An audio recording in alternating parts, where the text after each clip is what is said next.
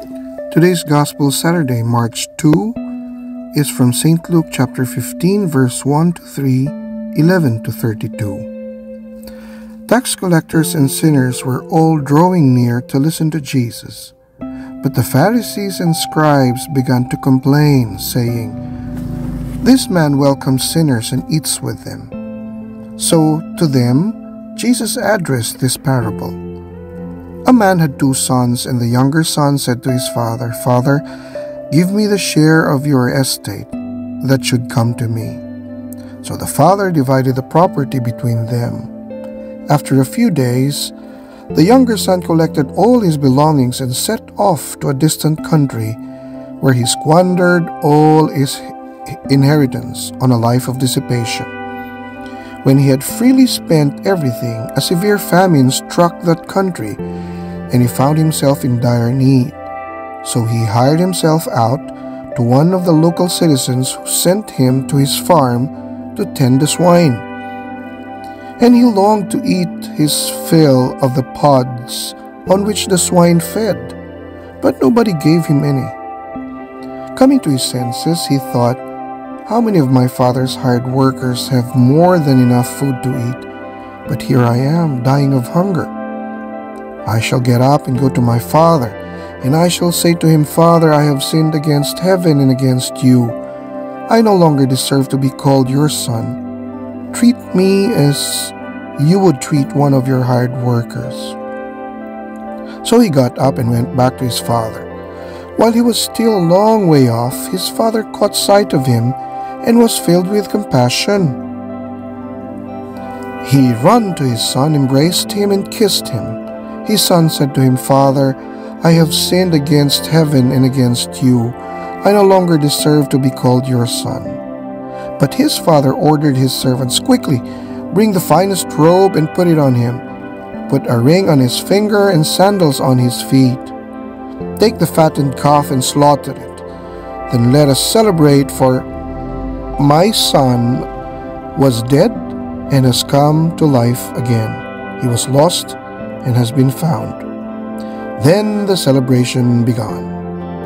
Now the older son had been out in the field and on his way back, as he heard the noise in the house and the music and dancing, he called one of the servants and asked what this means.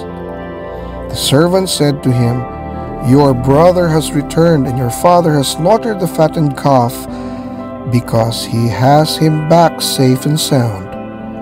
He became angry, and when he refused to enter the house, his father came out and pleaded with him.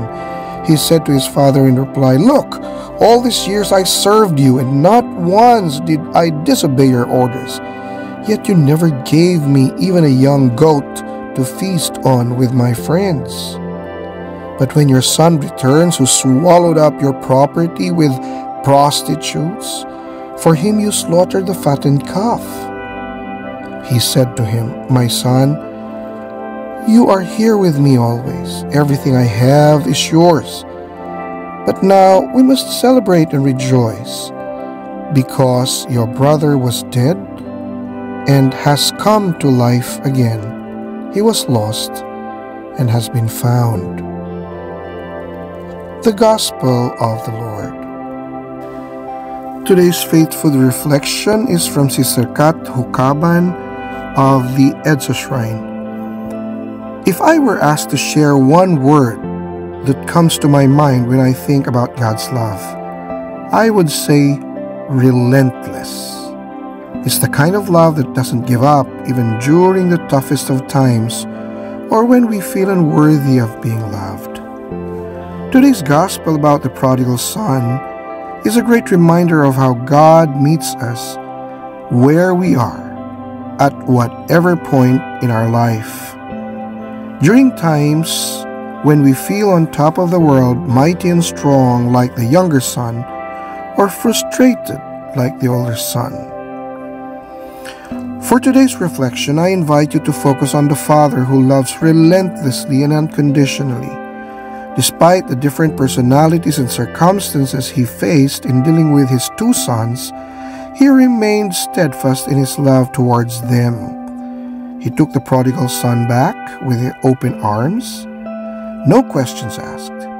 He also understood how disgruntled the older son was with the whole situation and took no offense when his decision to forgive the prodigal son was questioned. In our own families, are we able to emulate the steadfast love of the Father?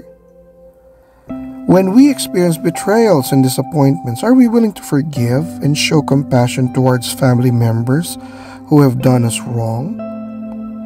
Maybe today's gospel be a reminder that despite being surrounded by challenging family members who are difficult to love and understand, believe that God will grant us the grace to show mercy, compassion, and love to heal and restore our relationships. Let us pray. Heavenly Father, thank you for your steadfast and unfailing love. May you never tire from welcoming me with open arms. Amen. In the name of the Father, and of the Son, and of the Holy Spirit. Amen.